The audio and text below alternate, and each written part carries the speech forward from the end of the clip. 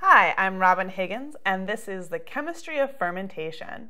All right, so fermentation is a process of taking a sugar and breaking it down to form alcohol, acids, or gas. So let's take a look at a simple reaction of fermentation. So first we start off with our sugar. And in this case, we're starting off with D-glucose, which is one of the most common sugars in nature. So if we look at it really carefully, we can see that it has one, two, three, four, five, six carbons. And so the first step is breaking glucose down into pyruvate. And so if we look at the pyruvate, we can see it only has one, two, three carbons, half as many as glucose. But in this reaction, we actually form two pyruvates.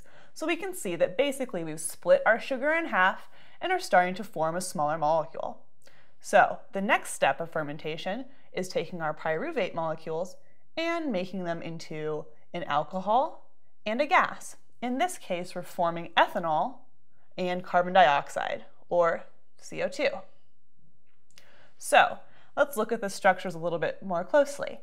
Right now, pyruvate has three carbons, like we already said, and ethanol has two. And so this is one less, and over here we can see that our third carbon went to carbon dioxide. And if we look at our pyruvate molecule, we can actually tell that this carbon right here was bonded to two oxygens already. So what happened was these three atoms separated and formed gaseous carbon dioxide, and these two carbons with an alcohol ended up forming ethanol. Uh, and so this is our basic schematic of how we take a sugar and turn it all the way down into alcohol and a gas. And so if you've ever uh, had any type of beer or made your own beer, what you're really doing is going in this process of fermentation. I'm Robin Higgins, and this is the chemistry of fermentation.